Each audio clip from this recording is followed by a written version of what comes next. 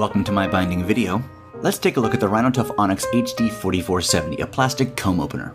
Right out of the box is only a one-step assembly process, and that's the lever. With the handle facing out, slip it right over this pole, bolt it down, and you're all set. Once your project is all punched in in order and you've selected the right size comb, drape the comb over the teeth of the comb opener. Make sure the teeth face up and the project faces down, that way it doesn't come apart in use. The Onyx HD447 can open comb elements from a quarter inch to 2 inches in diameter, and its wide base can accommodate up to 14 inches in length.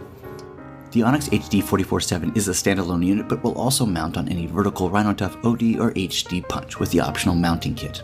Thread your project and close the comb. As with the whole Onyx line, it's built Rhin-O-Tuff and has a full 3-year warranty. That's the Rhin-O-Tuff Onyx HD4470. For more demos, how-tos, and reviews, check out mybinding.com.